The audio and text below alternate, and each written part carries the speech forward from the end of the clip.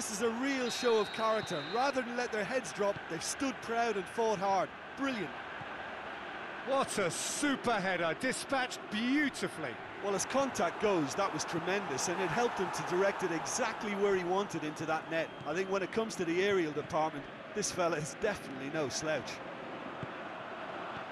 This is quite a battle. Yeah, it's a very good contest with two very good sides, and with such great individual talent on show. Shot a goal! Oh, how's that for a goal? Oh, it really is a finish of the highest order. They've done it! It was coming! They have their reward! Well, the goalkeeper would have helped to make his mind up on how he was going to finish it.